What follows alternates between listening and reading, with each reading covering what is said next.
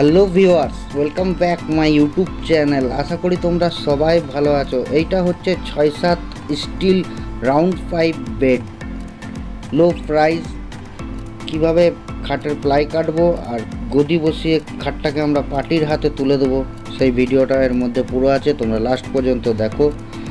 ভালো লাগলে চ্যানেলটাকে সাবস্ক্রাইব করবে, ঘণ্টা বাজিয়ে অল করে দেবে। My YouTube channel name common man common sense আশা করি তোমাদের এই ভিডিওটা সবারই ভালো লাগবে।